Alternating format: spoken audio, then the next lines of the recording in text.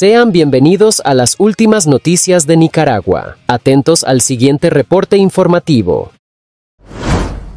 En un discurso cargado de furia y desprecio, Rosario Murillo, la poderosa vicepresidenta de Nicaragua, lanzó una amenaza escalofriante contra los opositores exiliados del país. Este jueves, en un acto que ha dejado al mundo estupefacto, Murillo advirtió con firmeza que quienes intenten poner un pie en suelo nicaragüense serán considerados enemigos de la humanidad. Con voz temblorosa, pero llena de determinación, sentenció, Hemos dicho siempre, no pasarán, y lo sostenemos, menos aún aquellos que osen profanar nuestra sagrada geografía con odio y maldad. La líder sandinista no escatimó en calificativos incendiarios, refiriéndose a los opositores como traidores, cobardes y vendedores de patria. Son estafadores de verdad, exclamó con vehemencia, evidenciando su total desprecio por quienes critican su régimen. Luchamos contra los enemigos de la humanidad, y entre ellos están estos vendepatrias, estos traidores que le han fallado a su pueblo una y otra vez. Este discurso marca un nuevo capítulo en la retórica incendiaria de Murillo, quien continúa consolidando su posición con mano de hierro, desafiando a los detractores dentro y fuera de Nicaragua. La comunidad internacional observa con creciente preocupación, mientras la tensión en el país centroamericano alcanza niveles nunca vistos. Este jueves, Rosario Murillo advirtió que quienes intenten ingresar al suelo nicaragüense no entrarán, ya que los considera enemigos de la humanidad. Hemos dicho siempre, no pasarán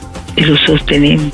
Y menos, menos que se atrevan a tocar nuestro suelo sagrado, nuestra sagrada geografía, con odio, con maldad. No, con odio nunca más. Siempre hemos dicho y decimos, luchamos contra los enemigos de la humanidad y entre esos enemigos de la humanidad están los traidores y cobardes, los que le fallaron a su pueblo, los que vendieron su pueblo, los que vendieron su patria, los que la siguen vendiendo.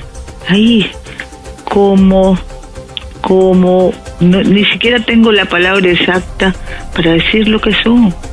Son estafadores de verdad estafadores. Y continuando con sus acostumbrados descalificativos a los opositores, vende patria, traidores, enemigos de la humanidad, a los que le fallaron al pueblo, entre otros, tanto ya repetitivos porque reconoció ya no tener palabras para calificarlos.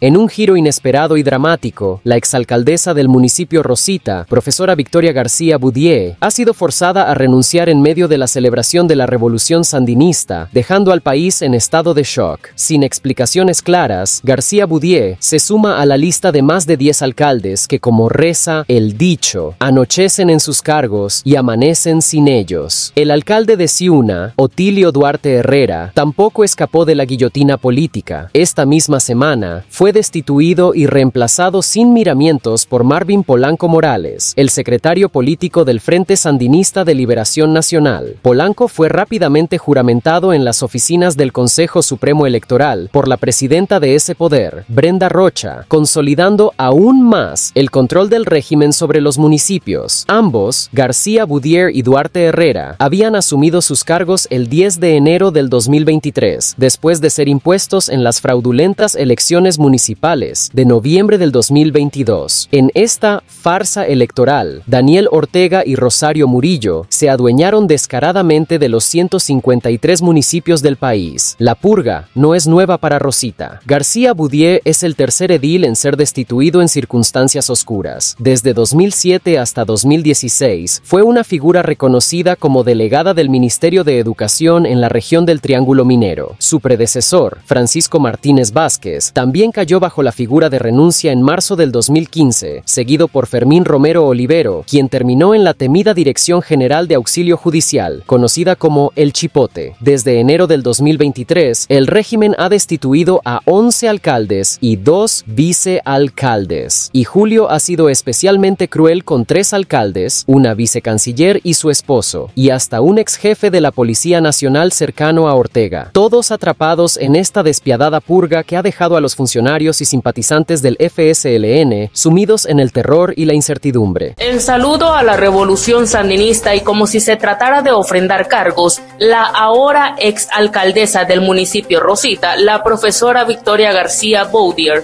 fue obligada a renunciar a su cargo sin dar mayores detalles. Y como diría el dicho, anochecen y no amanecen. Esto les ha pasado a los más de 10 alcaldes que han sido destituidos. Anochecen en sus cargos y amanecen sin ellos. En el municipio de Rosita es el segundo edil destituido. El primero fue Fermín Romero y ahora le tocó el turno a García. En su lugar queda Águeda Ivania Colindres Pizarro, quien se desempeñaba como concejal de esta comuna.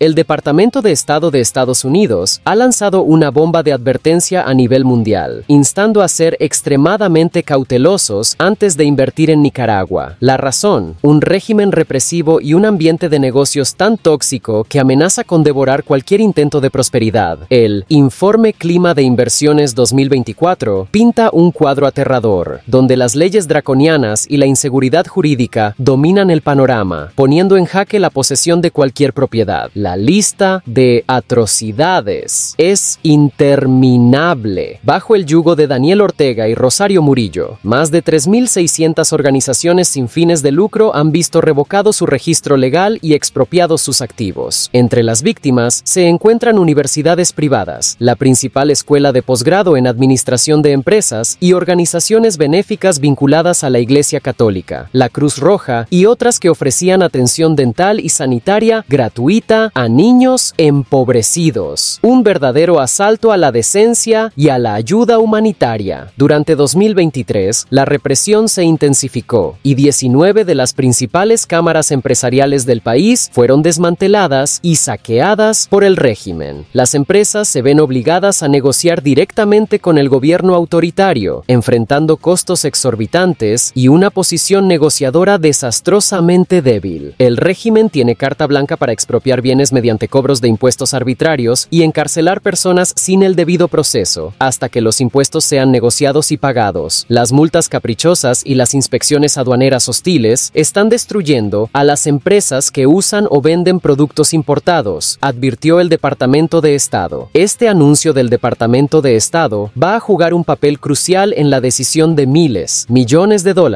en inversión que dejarán de llegar al país en los próximos años, sentenció Chamorro. Los trabajadores nicaragüenses, ya golpeados por la opresión, serán los que paguen los platos rotos de esta dictadura insaciable. El Departamento de Estado de Estados Unidos renovó su advertencia para inversionistas y empresarios de ser extremadamente cautelosos a la hora de invertir en Nicaragua. En su informe Clima de Inversiones 2024, el Departamento de Estado advierte sobre las leyes represivas que imperan en Nicaragua describen las condiciones del país como un ambiente de negocios no propicios para operar y bajo un clima de inseguridad jurídica que amenaza la posesión de cualquier propiedad. El informe además detalla que la dictadura nicaragüense ha revocado el registro legal y expropiado los activos de más de 3.600 organizaciones sin fines de lucro, entre ellas universidades privadas y la principal escuela de posgrado de administración de empresas, el INCAE, así como organizaciones benéficas vinculadas a la Iglesia Católica, la Cruz Roja y organizaciones que brindaban atención dental y sanitaria gratuita a niños empobrecidos.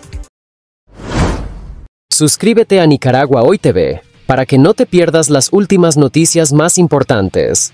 Déjanos tu opinión en la caja de comentarios y activa la campana de notificaciones. Nos vemos en el próximo reporte.